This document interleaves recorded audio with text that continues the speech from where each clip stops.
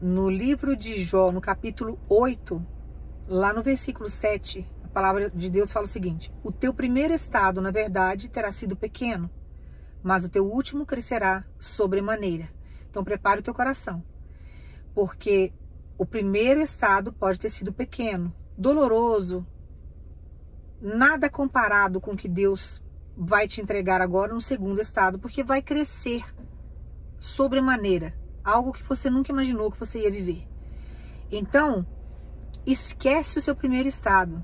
Foi um estado de derrota, um estado de sofrimento, um estado de estagnação, um estado de perdas, um estado de dor. Mas Deus manda dizer para você, você não tem noção de como que você vai crescer agora no último estado. O que, que Deus vai fazer uma vez que você vai estar debaixo das bênçãos dele. Você vai crescer de uma forma sobrenatural e você vai tomar posse dessa palavra. Então pega esse versículo, guarda dentro do teu coração, ou escreve num pedacinho de papel, coloca dentro da tua carteira, porque é o que vai acontecer por esses dias. Crescerá sobremaneira o seu segundo estado. Se o, se o processo inicial foi pequeno, ou o que passou foi pequeno, não se compara com o que está por vir. Agora Deus manda dizer para você: eu não vou deixar o demônio se andar no seu cenário mais.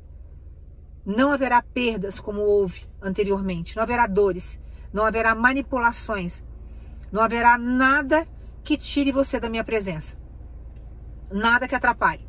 Você nunca mais viverá o que você viveu no seu pequeno estado.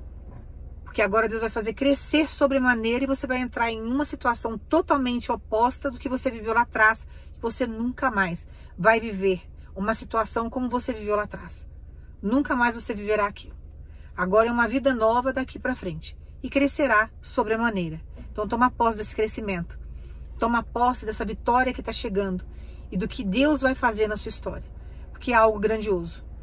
E ele manda dizer para você: o meu nome será glorificado sobremaneira também dentro do seu cenário. Que Deus te abençoe no nome de Jesus.